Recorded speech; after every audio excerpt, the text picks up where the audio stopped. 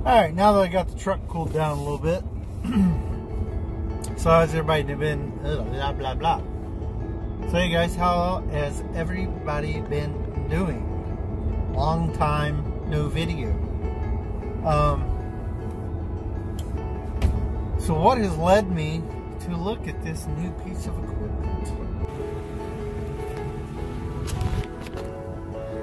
So let's not worry about the trailer. I'll give you a quick glimpse of a video that's going to be coming up. New trailer set up, but it's not my mowing trailer. However, I may have done a thing. It's already a little bit dirty.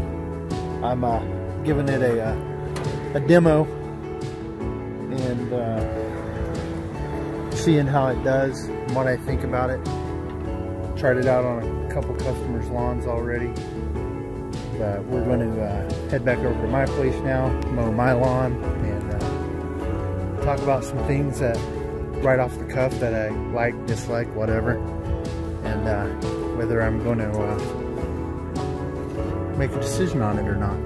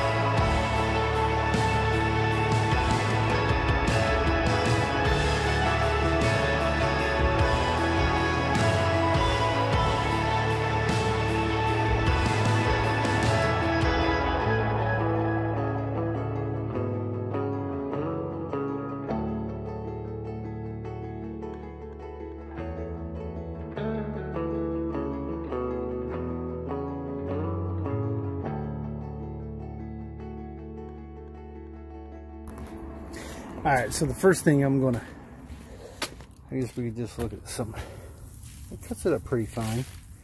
I'm gonna look under the deck. I haven't even looked under the deck to see what kind of blades we're running. So, pretty good cut on the grass.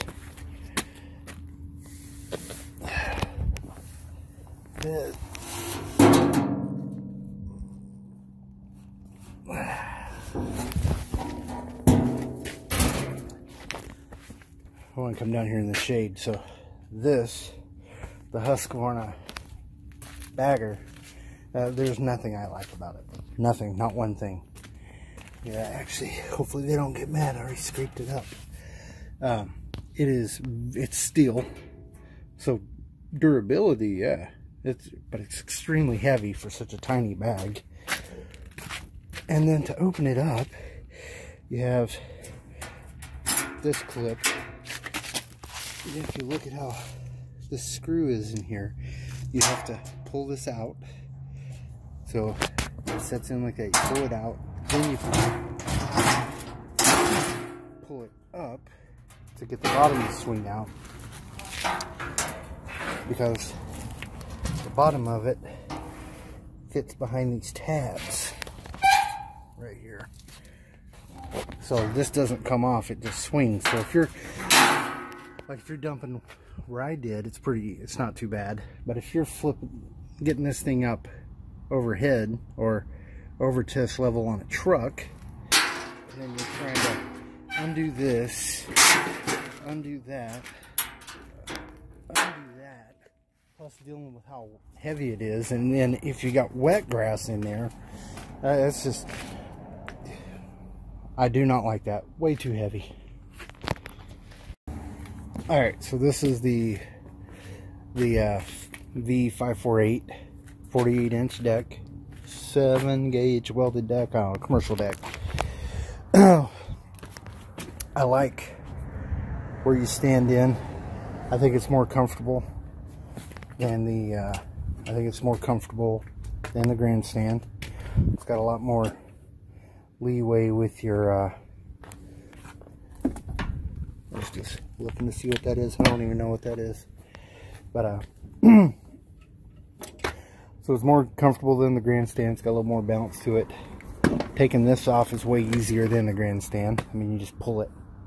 And the grandstand you guys know has tabs out on the end. You have to push and pull. I mean they're not it's not a big big thing but getting to the your oil fill and I'm not sure. Oh so the oil drain you know you got your little your tube there that you can slide your pan right there and open up your oil to drain it. So that's nice and easy. Oil fills easy. Uh, oil filter easy. Battery obviously easy. Fuses closes up.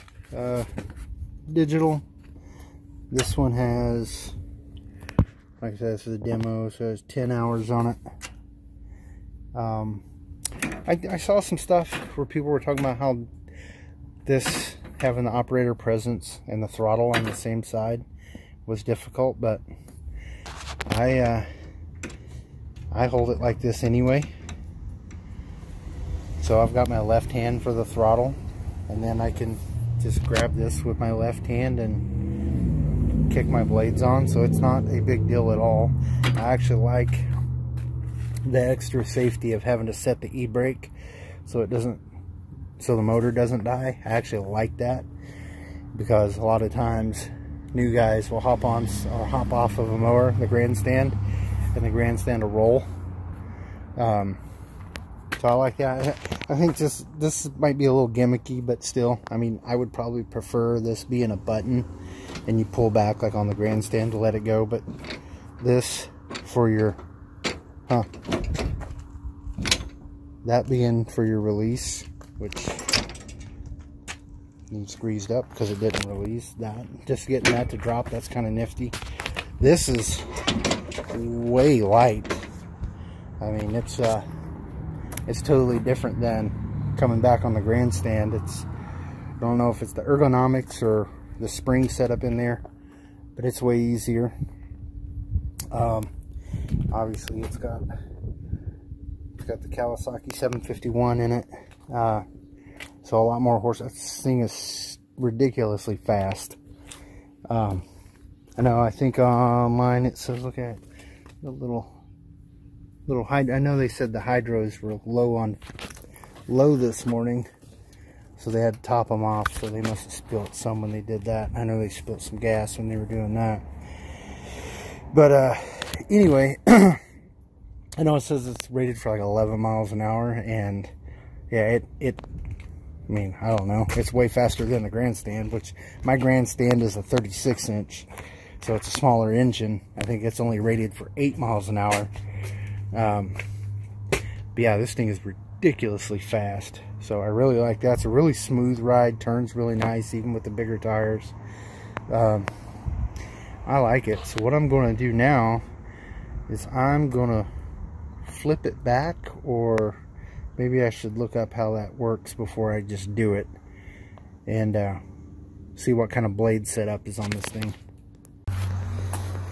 Alright, so I just jacked it up like this. We're not going to get too crazy underneath here.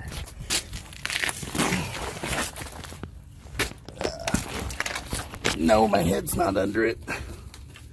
But I do have my belt clip messed up. Alright. So these are the blades. Those are some... Oh, they're dull as crap. Well, it cut pretty good for super dull blades yeah, those blades have... Uh, see, I only mowed two lawns, or three counting my own, and uh, I don't even think the paint's off those blades, so the blades definitely need to come off and sharpened. I like these monster freaking spindle housings. Those are cast iron. Uh, baffle set.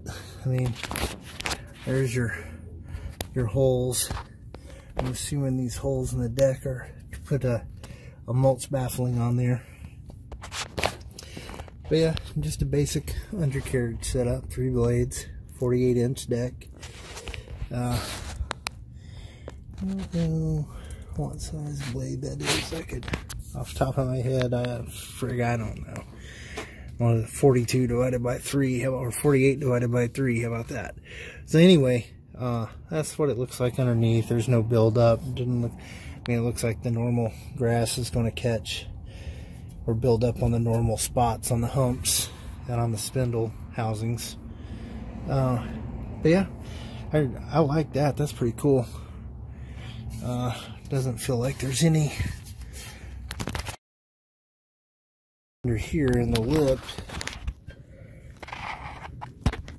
It's pretty smooth. I don't feel anything back in there. It's going to catch grass. But yeah, that's your deck for the 48 inch. So yesterday, I got this text with this picture. Um, so like I said, I got that text and that picture the actual control lever on the grandstand broke. The metal. No springs, no attachments, no wires. The actual weld for the physical handle broke. So he tries to duct tape it. And hey, man, I give it to him. They, I have got a really good team out on the road right now. That uh, they they work well together and they're all about getting the job done and getting it done right. And they're, uh, I, am really happy with uh, the team I got on the road right now. So they try to band-aid it. Obviously, the, the band-aid didn't work. Um, duct tape's just not going to do anything on a weld. So I think they got one lawn done with the duct tape. So he could have been, he could have actually made it through duct taping every single lawn all day long. And he would have limped through that way. But uh, I took them the other 30 inch that I had on my trailer. And so they, they, basically they push mode, or not basically, they did push mow the rest of their day yesterday. And they had, they had some decent sized lawns but they were push mow, you know, so they had two thirties out on the lawns. And they they got it done. They got it done really. They made a really good time. Uh, I was I was kind of uh, surprised that they got finished uh, on a nine, I think nine hour day. Um, so that was really good for them, for anyone. I mean, but anyway, so that's what led me. I, I tried to reach out to some other lawn care companies, see if they had an extra 36 that I could borrow while this thing's in the shop. It's a warranty item, but nobody stocks that piece, so it's going to be in the shop for a minute. It's at the shop that I do not prefer. Uh, that's a whole other story on why it's why it's there instead of where it should be, where I where I'm going now. But uh, anyway, so so that broke, and uh, so it's in the shop. It's getting fixed. Um, I'm gonna get over. I don't need to be in this dang lane anymore. But uh, so like I reached out to all the, uh, people. I'm sorry I'm being all scatterbrained as I'm driving. Traffic's being all wonky today. There's an air show going on. So planes are flying over and people are trying to drive and watch the air, watch the planes fly over and they're just making, being silly. So I reached out to some other lawn care companies. Uh, one company just got back to me today. He's a bigger company. He's like, oh man, he's like, I didn't see, all I did was send him a text and asked him if he had a spare 36 in his shop. And he's like, we don't have anything spare laying around right now, but he goes, if you don't have it figured out yet, we'll figure something out. Just let, let me know what we're doing. So it's, it's cool to have that, uh, rapport with companies that are that are larger because he's a uh, he's not one of the big players in town, but he's right on that cusp of becoming a big player in town. He's actually I don't know. I know in the snow game, he, he's a pretty big player in the snow game in town now, and uh, on the commercial mowing side, he is a bigger game than residential. How about that? I don't know. I don't know how many crews he runs now. Um, anyway, that anyway, it's good to have good rapport, good relationships like that with other companies that you can reach out and say, "Hey, I need some help," and they're willing to to try and help you, you know, somehow. But uh anyway, so he he didn't have anything. I couldn't get a hold of, you know, I couldn't find a spare mower laying around town. So I went to one dealer and asked about a demo or even a rental, they, they pretty much laughed. They're the, the dealer that they're really close to my house is the only positive thing about them. Uh, they're like, yeah, we don't demo anything and we have no rentals. I was like, dude, I'll rent one of those old jalopy used mowers you're trying to sell. They're like, yeah, we don't do that and no, no, whatever. So I go over to this other dealership where I'm going now, over to Liberty, Liberty Lawn and Saw, and I didn't even ask. I, I there's one salesman I deal with pretty much exclusively. Uh, if he's in the shop, I deal with him. I walk in, he's like, "Hey, how's it going?" We're just talking. I'm like, "Man, you'll never believe what happened to my grandstand." And I mentioned it. He's like, "Oh, I've seen that a couple times." He goes, "It's a really odd, oddball one." He goes, "I have seen it." And we're just talking, and I'm just like, eh, I'm just eyeballing, trying to make some decisions. And we were talking about a few different mowers in there, and he's like, you know what? He goes, if you just want to load one up and take it tomorrow, he goes, if anything to get you through your day, he goes, just take it. Take it as a demo. And uh, I went back and forth between this Husky and the Exmark. And the only thing I, what really deterred me away from the wanting to demo the Exmark is you have to lift the deck. Physically, you know, you go to each side, you lift it, move the pins. And I had, my Gravely was that way, and I absolutely hated, hated doing it. I don't know why. It ain't like I changed it a bunch of times, but I, I hated doing it. And uh, so I was like, yeah, I don't really want to try the Exmark just because, just for that very reason. I just don't like that deck. I don't like having to lift the deck. I want my I'm lazy. I want my my deck on a on a bar to lift it. I only want one one adjustment. That's all I want to do. And uh, so he's like, well, he goes, you want to try the Husqvarna? He goes, we got we got a, the 48. You can demo that. And that's really the size I was looking at. I mean, I had I had a 52 Exmark before Lazer Z. I know I I don't want to go back into zero turns. Um, I, I, like the stand-ons. I like the uh, trailer footprint that I can, you know, the amount of equipment I can, you know, I don't have to buy a, a 14 or a 16 or an 18 foot trailer, a 12 foot trailer, and I can, I can easily put a, I mean, I used to put my Lazer Z, my 36 grandstand, and my 30 inch Turfmaster on my six and a half by 12 trailer. Now that was packed super tight. Um, it was not a good load. I mean, I was crawling over mowers, but they fit right to the gate. Well, I can do that same setup, a 52, a 36, and a 30 all stand on or in the push, and have plenty of room on the trailer. So that's why one reason I want to go with stand-ons. I like the stand-ons better. Uh, they're get them into more places. Uh, they're safer. I don't have to worry about them on hill. They they hang a hill way better than a zero turn. I hang a hill, in my experience. I've lost. Uh, I, I don't think I ever had a real sliding problem out of the Lazer Z. I never had it really on a hill that I can think of. Uh, the Toro 50 that I had before the Lazer Z, I broke it loose a couple of times, and you guys just broke loose on a on a zero turn, you already know there's nothing you can do. You break loose on a Z and you're just uh, you're on it for the ride, which is how you always see the posts of guys going into creeks and getting stuck under mowers. Well, if you're on a stand on, you step off the damn thing. You know, no mowers worth of life. Um, so for that fact, I like stand-ons. But anyway, this is just me babbling as I uh, take this mower back out. I haven't fully decided on whether I want to buy it or not. I like the mower. I feel a lot better after looking under the deck because there was a couple things with the cut. Like I had to cut my lawn twice. And, uh, which I normally cut my lawn twice anything, any, anyway, just because I like the stripes to be more prominent.